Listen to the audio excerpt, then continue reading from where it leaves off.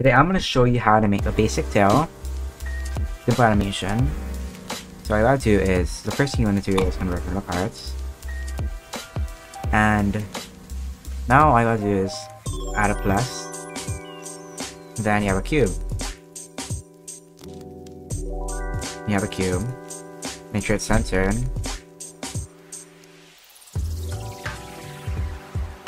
Then I'll start in the middle and I can move it out of there.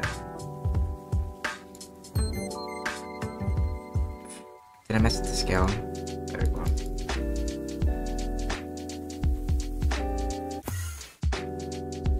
Let's make this uh, medium size scale, 3.5 to 3.5.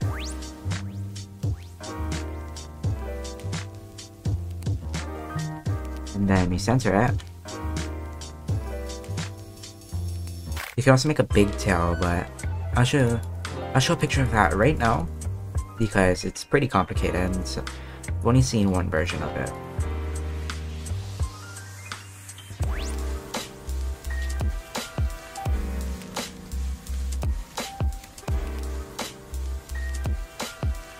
And then you shrink it a bit.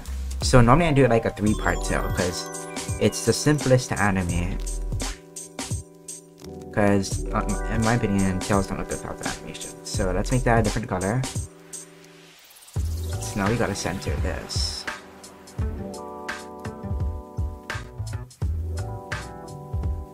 What button do you press?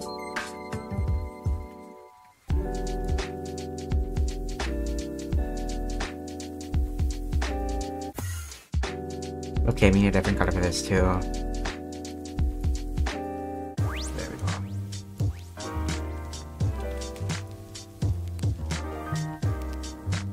Another easy thing you can do is move this and then put this thing inside that one.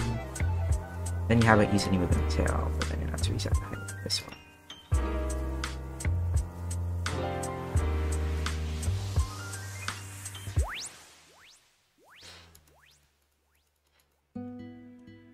Let's put this one up here too. 2.5. 2.5. And then we move the middle one in a bit.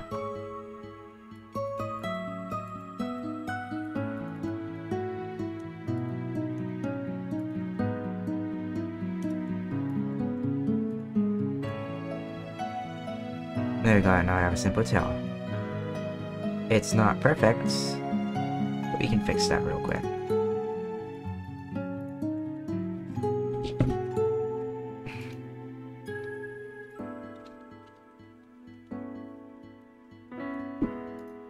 This tail is a bit too big for my in my opinion, but it's probably fine. So then you want to go to animations and let's just make a basic standing animation for it. I like to move additive because it makes it just a bit more convenient when animating. But you don't have to do that. Additive can be useful at some times. So let's make it this really simple.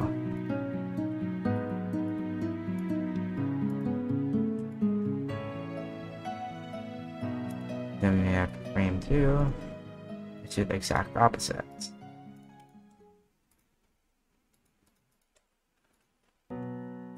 And then let's increase the uh, duration to 2500. That's how long the animation will take. And then boom, you got a basic tail animation. It's that easy, and if you want, you can retexture it pretty easily. So I got to use like such a. You can also well, you have to increase the size of your texture sheet, but that that's that's for another time. But just remember, if you wanna if you wanna texture your tail and not just have it be a solid base color, you're gonna have to increase the size of your skin. Now I got to use file, export, and boom.